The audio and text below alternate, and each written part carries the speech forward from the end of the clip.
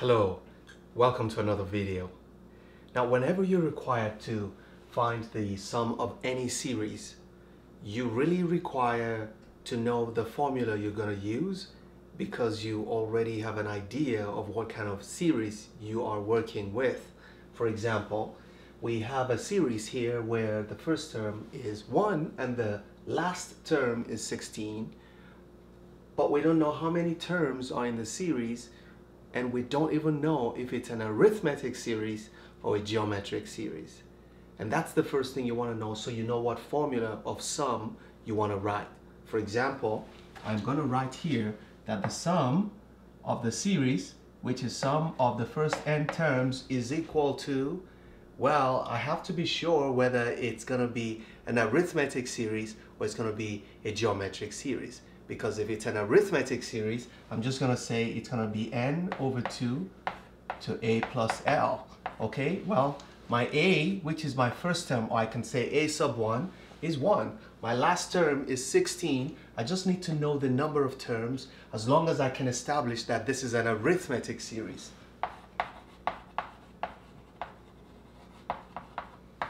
Okay, so we're to test to see if it's an arithmetic series.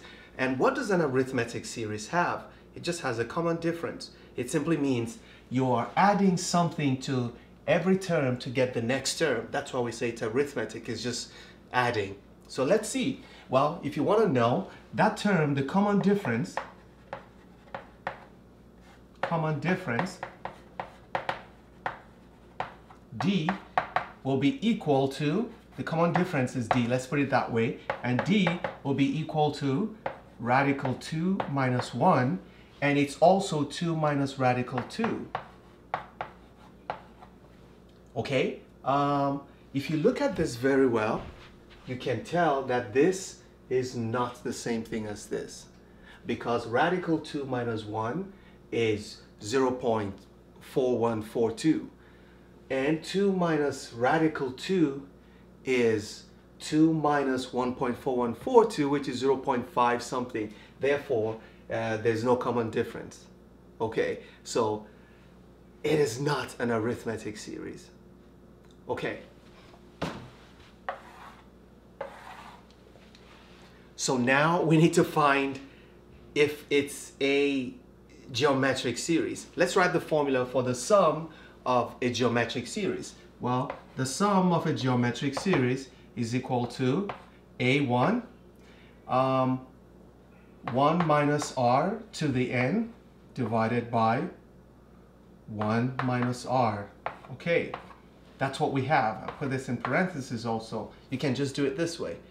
Um, well, this formula will only work if we know that there's a common ratio and we know the number of terms. But firstly, there just has to be a common ratio. So let's test the common ratio, just as we did here where we subtracted the previous from the current and then the current from the next. We're going to do the same thing, but this time we'll be taking ratios. Okay, so we know that our R is going to be rad 2 divided by 1, rad 2 divided by 1, and it also must be 2 divided by rad 2, 2 over rad 2. Well, is this equation true? Because if this equation is true, then we have a common ratio. I'm just going to cross multiply, and then I'm going to have 2 is equal to rad 2 times rad 2. And this is correct, because rad 2 times rad 2 gives you 2, and now I know that I have a common ratio. And my common ratio is rad 2 over 1, which is equal to rad 2. This also will give you rad 2 if you rationalize it. So we have a common ratio of rad 2, so I know it's an arith a geometric series. Okay, so because it's a geometric series, I know I'm going to use this formula. I have my first term already, which is 1. I have my common ratio already, which is rad 2 right here. Okay, um, that's my common ratio. Um, I just need to know the number of terms. What's the number of terms?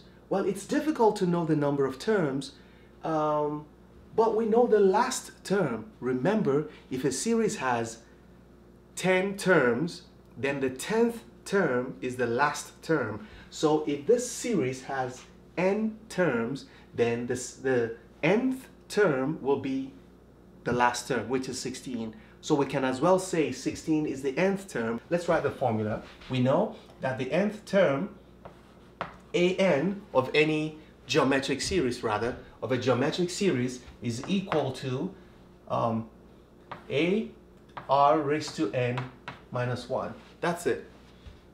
Okay? Where this is, I'm going to use a sub 1. Okay. Now, so this is the first term, the common ratio, and this is the number of the term. So now we're talking about the last term. So we could say that an, because we don't know what n is, we don't know the number of terms in this geometric series, but we're going to find out now. Okay, so an will be equal to a1. The common ratio we've established to be rad2 to be raised to, what is the number of terms here? Um, we don't know also. So we're to say n minus 1. But remember that our an is the last term. This is the term we want to talk about because once we get n, n will be what's relevant here. So what is this term? This term is 16. So I'm to change this to 16 or I'm to leave it. Let's just say it's an and then put the numbers in. This is 16. A1 is the first term, which is this one. And then this is rad2 um, can we write rad 2 as an exponent? Yes, that's going to be 2 to the 1 half.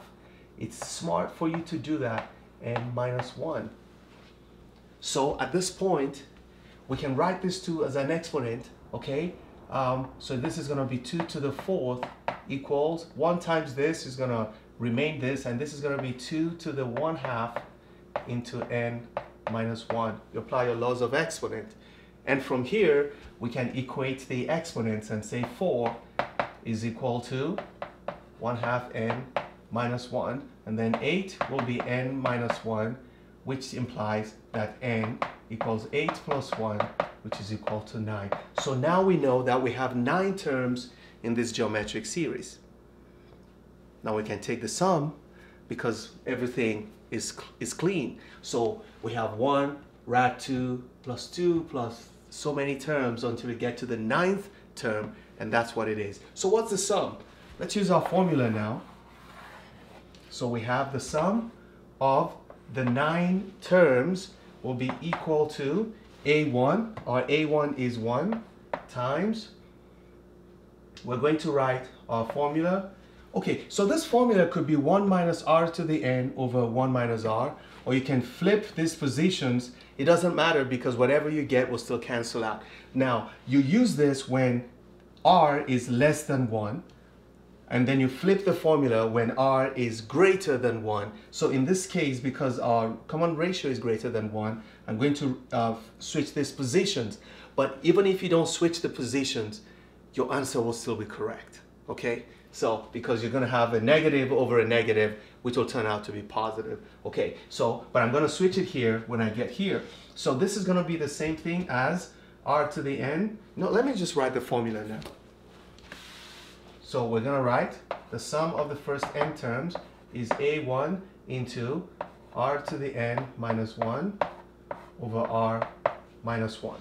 Okay, which will be equal to, so s9 will be equal to the first term, which is 1, multiplied by the common ratio, rad 2 minus 1, rad 2 raised to the power 9 minus 1 divided by rad 2 minus 1. So we're going to simplify this and well if you multiply by 1 you still get the same thing. So we're just going to have this.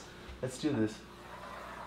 We're just going to have um, the sum of the first nine terms is going to be equal to square root of 2 to the 9 minus 1 divided by rad 2 minus 1.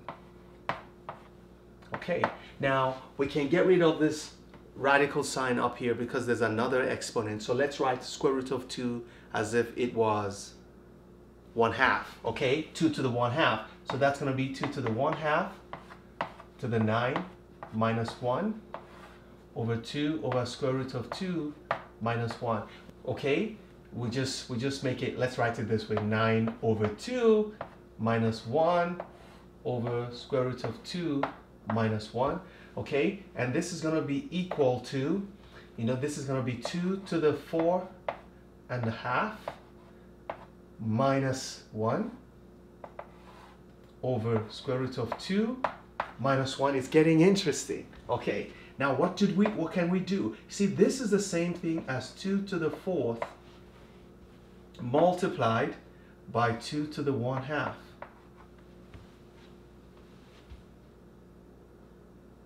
Okay, now minus 1 over square root of 2 minus 1. And finally, what is 2 to the 4th? It's 16.